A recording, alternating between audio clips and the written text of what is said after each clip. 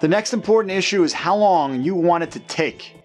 If you want it to take a long time to settle your estate, then you'd want to use a will. If you want your estate settled very quickly, then you want to use a living trust. The average time to probate an estate is one to two years, but you will also find many horror stories of five plus year probates.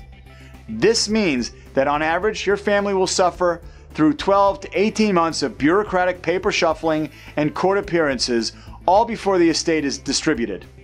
In the 1966 landmark book called How to Avoid Probate, Norman Dacey quoted widely syndicated columnist Thomas Collins, who summed up wills and probate as follows. Then the lawyer folded up the will and, in effect, told the children to come back in two years and he'd try to have them some money. Paperwork, judges, lawyers, affidavits, appraisals, and time, time, time. So much time, in fact, that when the children at last cash in, the grave will be cold, the weeds sprouting, and they will be getting their money not from Papa, but from a complex of taxmen, lawyers, and courts.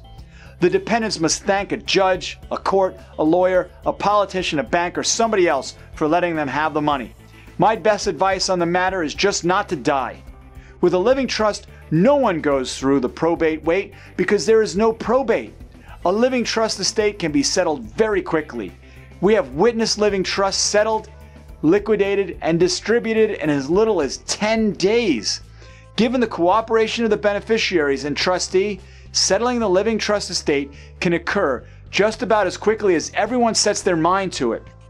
And whatever time it takes is not a result of some government dictate or bureaucratic process. Another question worth asking is how much do you value your privacy? Because in probate, the entire affair, the will, the size of the estate, the type of assets, how much they are worth, the beneficiaries, what they get, and everything else is public record for anyone and everyone in the world to see. And in fact, many comb through these public records every day so they can target the estate and beneficiaries.